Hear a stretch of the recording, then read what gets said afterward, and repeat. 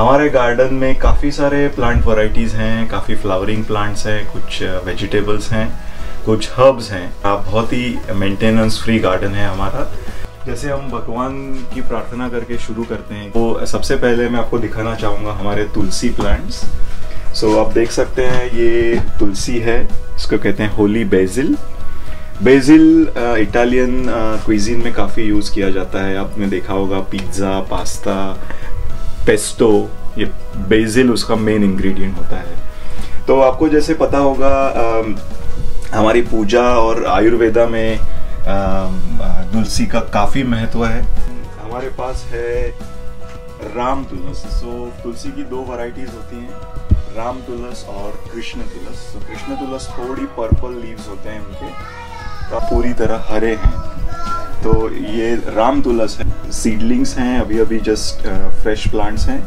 ये पूरा प्लांट तैयार हो चुका है लेकिन पूरा प्लांट आप देख सकते हैं इसको uh, ये मंजीरी बोलते हैं इसको मराठी में। तो यहाँ पे इनके सीड्स होते हैं। तो आप uh, इनको निकाल कर किसी भी मिट्टी में आप डाल देंगे उसको केयर करेंगे अच्छी तरह तो आपको तुलसी प्लांट मिल जाएगा।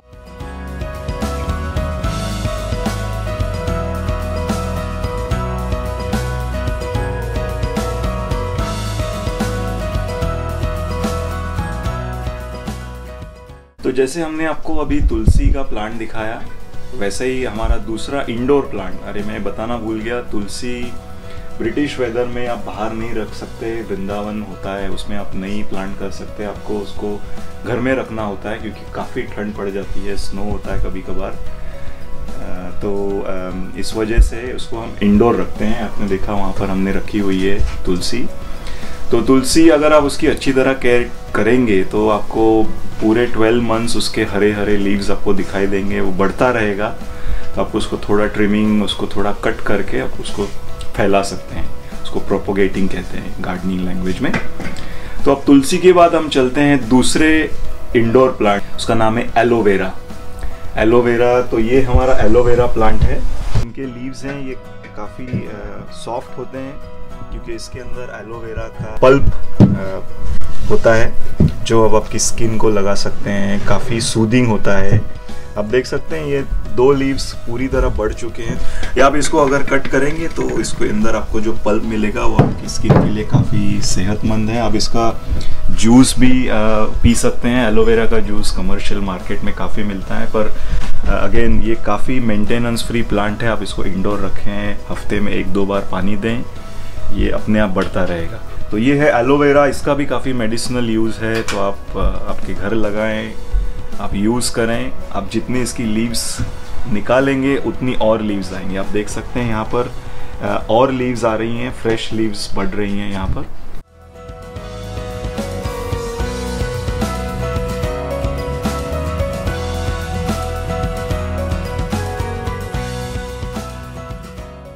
दोस्तों मैं आपको अब दिखाना चाहूँगा हमारे गार्डन का सबसे इम्पोर्टेंट और खूबसूरत पौधा। इसका नाम है लेवेंडर। आप देख सकते हैं मेरे पीछे ये लेवेंडर का प्लांट है पौधा है।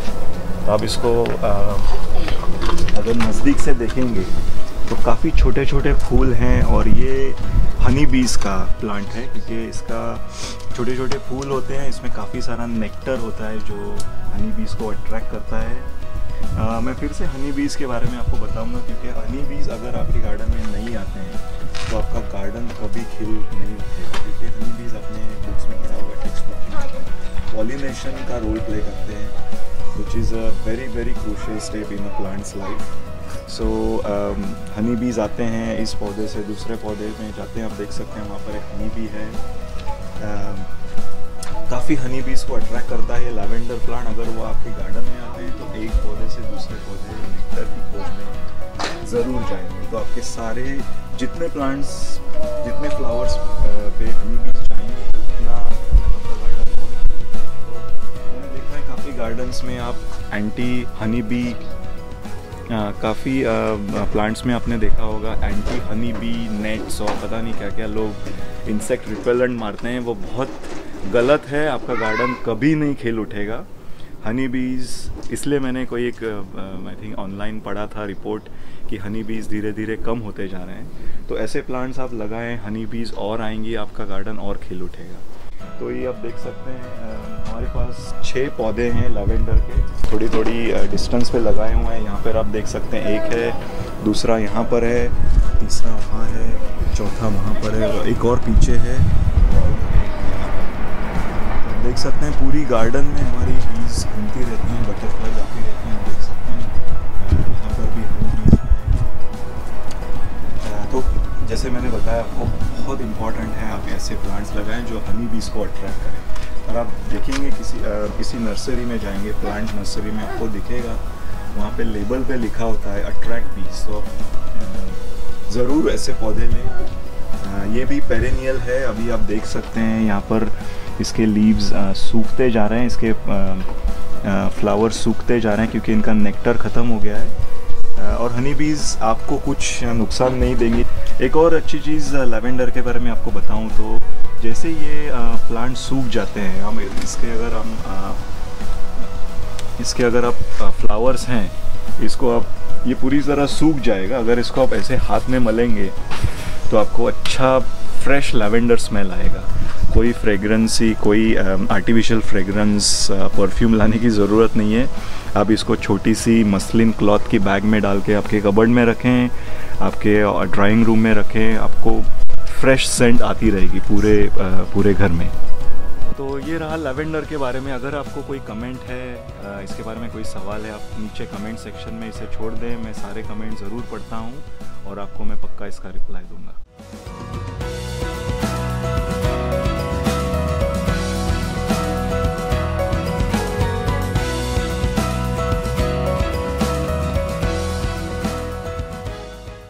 तो दोस्तों हम पहुँच चुके हैं हमारे गार्डन के एंड तक। एंड का मतलब बाउंड्री लाइन तक। वीडियो वीडियो में और सारे प्लांट्स मैं आपको बताऊँगा। लेकिन एक बहुत ही खूबसूरत प्लांट मैं आपको दिखाने जा रहा हूँ। इसका नाम है बोटेनिकल नाम है एकेंथस मोलिस वैसे इसको कहा जाता है ऑयस्टर प्लांट या बेर्स ब्रीचेस ये आ, बहुत ही खूबसूरत प्लांट है। उसी टाइम काफ़ी डेंजरस भी हो सकता है क्यों मैं आपको बताता हूँ। तो ये है एकेंथस मोलिस प्लांट आप देख सकते हैं, सबसे पहले लीव्स में आपको दिखाऊँगा, काफ़ी बड़ी बड़ी लीव्स होती हैं इसकी. और फिर आप देख सकते हैं, इसके स्टेम्स जाती हैं ऊपर तक. काफ़ी खूबसूरत फूल होते हैं. इसका आप देख सकते हैं बेल शेप के फ्लावर्स होते हैं. आप देख सकते हैं, इसका फ्लावर देखिए, इसके अंदर है. और इसके आप देख सकते हैं काफ़ी सारा अंदर काफ़ी प्रोटेक्टेड होता है। अगर बारिश भी आती है, पानी गिर के नीचे चला जाता है तो नेचर ने ऐसी चीज़ें बनाई हैं। ये आपको दिखाई देंगी ज़्यादातर मेडिटेरेनियन कंट्रीज़ जैसे कि पोर्तुगल नॉर्थ अफ्रीका ये ऐसे कंट्रीज़ में पाई जाती हैं। काफ़ी हीट बर्दाश्त कर सकती हैं। ये अगेन ये पेरिनियल प्लांट है।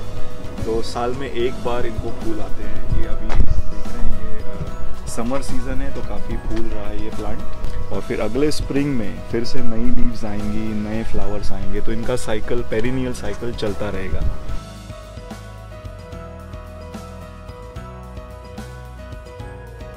तो आइए दिखाते हैं हम आपको फुस्चिया प्लांट तो फुस्चिया इसके बारे में कहा जाता है कि ये सबसे पहले कैरिबियन आइलैंड जैसे हुआ वेस्ट इंडीज़ जमेका उस उस रीजन में पाया जाता था। तो वहाँ से फ्रेंच इसको उठाकर लेके आए क्योंकि दिखने में बहुत खूबसूरत है।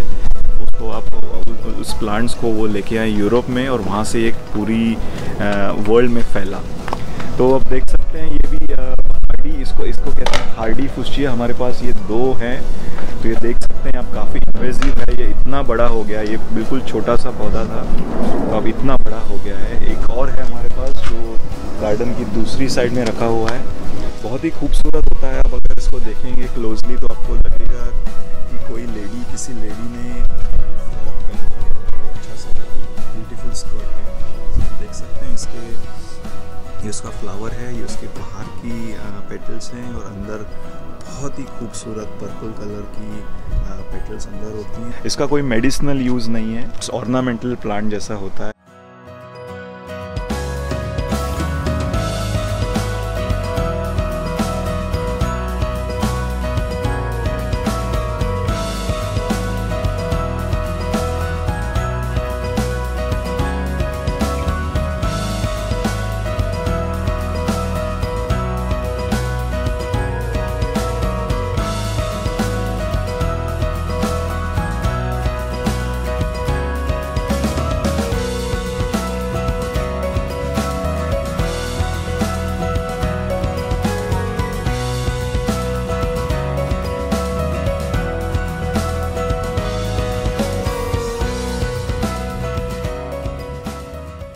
तो दोस्तों, मैं आपको अब दिखाना चाहूँगा बहुत ही कॉमन और खूबसूरत पौधा मारी गोल्ड जिसको मराठी में हम झेंडू कहते हैं।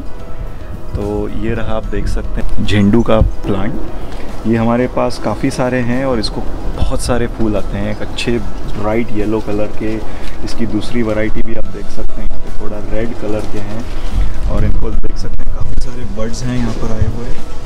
आप देख सकते हैं ये काफ़ी बर्ड्स हैं जो अभी खिलने वाले हैं थोड़ी दिनों में। तो इसका हमारी पूजा में बहुत अच्छा इसका महत्व होता है। जितने आप इनके इन, इनके फूल आप कट करेंगे उतनी तेज़ी से और नए फूल आएँगे। तो ये इंडोर प्लांट है वैसे। ये अभी हम थोड़ा ब्रिटिश समर है तो इसलिए हमने इसको बाहर रखा हुआ है। वैसे ही जैसे ही अभी ठंड पड़ जाएगी तो हम इसको अंदर मूव करेंगे। तो ये पूरी साल फूल देता रहेगा आपको। ये एनुअल प्लांट होता है। एनुअल का मतलब है, ये साल में एक बार खिलता है और पूरी तरह मर जाता है। तो इसको आप, आपको फिर से इसको नए प्लांट्स प्लांट करने पड़ेंगे, तभी अगले साल आएगा। ये पेरिनियल नहीं होता है, जो विंटर में डॉर्मेंट हो जाते हैं और फिर स्प्रिंग समर में खिल जाते हैं। यहाँ पे ऑलमोस्ट 20 या 30 बर्ड्स हैं तो ये काफ़ी खिलेगा एक दो हफ्तों में। और ये पूरा खिला हुआ है। हमारे पास ऐसे सात या आठ पौधे हैं। ये हम ये फूल हम पूजा में इस्तेमाल करते हैं। काफ़ी अच्छे दिखते हैं और अगेन ये बीज को बहुत अट्रैक्ट करते हैं। बीज आती हैं इसलिए इतने खिले हुए हैं हमारे प्लांट्स क्योंकि आप बीज को ना रोकें। अगर आपने कुछ भी गार्डन में अगर लगा रखा है नेट्स वगैरह जल्दी से उसे हटा दें। बीज को वेलकम करें आपके गार्डन में। तो अम, आपकी आपका गार्डन और खिल उठेगा। तो, तो ये था हमारा ये गार्डन का टूर उम्मीद है आपको अच्छा लगा होगा। गार्डनिंग मुझे पहले से पसंद थी। मेरे नाना जी खेती करते थे तो शायद वहाँ से कोई जीन्स मेरे अंदर आ, आ गए होंगे। लेकिन गार्डनिंग का काफ़ी बेनिफिट्स हैं। आप गार्डनिंग करें। कुछ भी आप गार्डन में समय बिताएँ। आपका ब्लड प्रेशर अगर हाई है तो आपको उसमें थोड़ी राहत मिलेगी। प्लस एक सुकून मिलता है, आप पेड़ पौधों के साथ थोड़ा समय गुजारने में। प्लस ऑक्सीजन मिलती है फ्रेश ऑक्सीजन आपको मिलती रहेगी हमेशा के लिए। तो दोस्तों, ये था हमारा गार्डन मैंने कुछ सिलेक्टेड पौधे आपको दिखाए। आपको कैसे लगे, हमें प्लीज़ कमेंट सेक्शन में ज़रूर बताएँ। अगर आपको ये वीडियो अच्छा लगा तो प्लीज़ इसे लाइक कर दीजिए। शेयर कर दीजिए अगर आपको लग, अच्छा लगा तो हमारे चैनल को भी सब्सक्राइब कर दीजिए।